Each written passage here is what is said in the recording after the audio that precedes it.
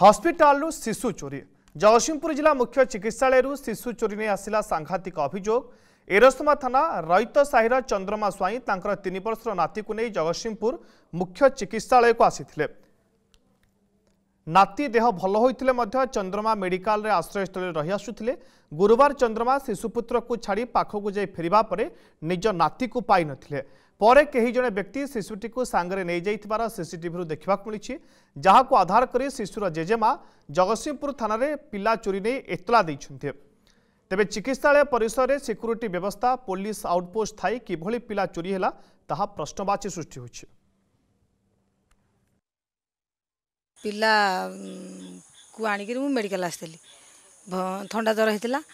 ତାପରେ ସେମାନେ ଆଉ ମେଡ଼ିସିନ ଦେଇ ବିଦା ନ କରିକି ରଖିଲା ଆମ ଚାରି ମାସ ନାତିକି ମୋତେ ତାପରେ ନାତି ଚୋରି ହେଇଗଲା ଆଉ ମେଡ଼ିକାଲ ଧରିବିନି କାହାକୁ ଧରିବି ପିଲା ଚୋରି ହେଇଛି ବୁଧବାର ଦିନ ସକାଳ ଆଠଟାରୁ ନଅଟାରେ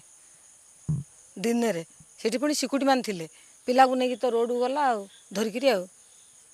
କହୁଛନ୍ତି ସାଇକେଲରେ ବସେଇକି ନେଇକି ଯାଇଛି ଆଉ ଲୋକ ତ କହୁଛନ୍ତି ଆଉ ପିଲା ସେ ବରା ଦେଇକିରି କ'ଣ ନେଇଗଲା ଆଉ କହୁଛନ୍ତି ଆଉ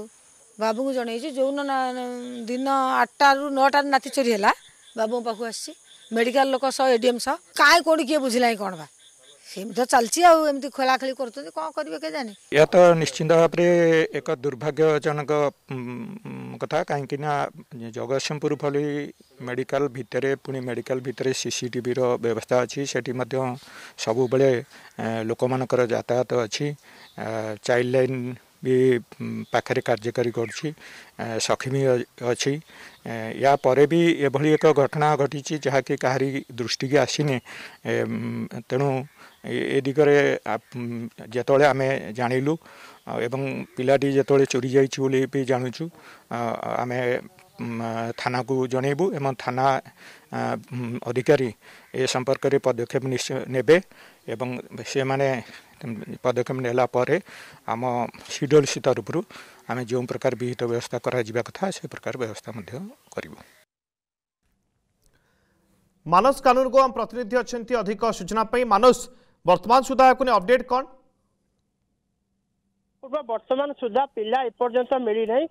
ଘଟଣା ହେଉଛି କ'ଣ କି ଯେତେବେଳେ ଏରସମା ଯୋଉ ଥାନା ଅଞ୍ଚଳର ଯୋଉ ରହିଚେ ସାହି ରହିଛି ରହିଚେ ସାହିର ଚନ୍ଦ୍ରମା ସ୍ୱାଇଁ ଜଣେ ବୃଦ୍ଧ ରହିଥିଲେ ତାଙ୍କର ନାତି ଯେତେବେଳେ ତାଙ୍କର ଜଣେ ପାଳିତ କନ୍ୟାଙ୍କର ନାତି ଇଏ ତାଙ୍କ ଯେତେବେଳେ ତାଙ୍କର ଝିଅ ଆଉ ଜ୍ୱାଇଁ ଯେ ନାତିଟିକୁ ମା ପାଖରେ ଛାଡିକିରି କେଉଁଆଡେ ଚାଲି ଯାଇଥିଲେ ଦୀର୍ଘ ଦିନ ଆସିନଥିଲେ କିଛି ଦିନ ତଳେ ଯେତେବେଳେ ଦୁଇ ମାସ ତଳେ ନାତିର ଦେହ ଖରାପ ହେଇଥିଲା ସେ ତାକୁ ମେଡିକାଲ ଜଗତସିଂହପୁର ମେଡିକାଲକୁ ନେଇକି ଆସିଥିଲେ ମେଡିକାଲ ଆଡମିସନ ନହେଇକି ଡକ୍ଟରଙ୍କୁ ଦେଖେଇକିରି ମେଡିସିନ ଖାଇକିରି ଯେତେବେଳେ ଅସହାୟ ବୁଦ୍ଧା ଯିଏ ଏବଂ ତାଙ୍କ ଛୋଟ ଅଢ଼େଇ ବର୍ଷ ତିନି ବର୍ଷର ପିଲାଟି ରହିଛି ଯେତେବେଳେ ମେଡିକାଲ ପାଖରେ ସେ ରହିଲେ ମେଡିକାଲରୁ ମାଗଣା ଖାଦ୍ୟ ଖାଇ ତାଙ୍କର ୱେଟିଂ ରୁମରେ ରହୁଥିଲେ କିନ୍ତୁ ଦୁର୍ଭାଗ୍ୟର କଥା ଗତ ଚାରି ଦିନ ତଳେ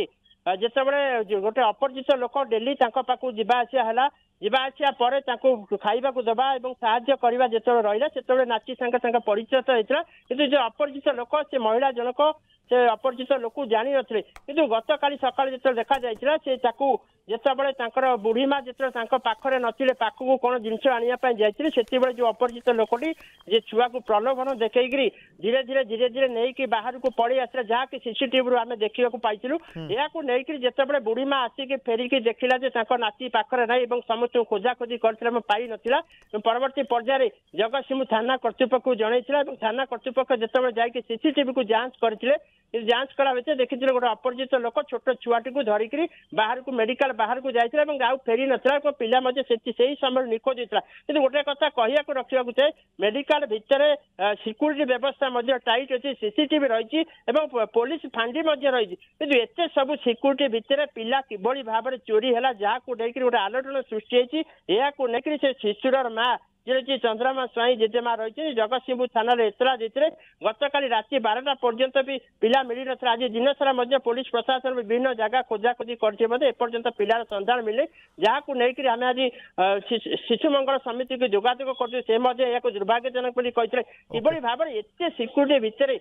পিলা এতে সিকিউরিটি সুরক্ষা ব্যবস্থা ভিতরে কেমলি পিলা চোরি হচ্ছে এবং চোরি হবার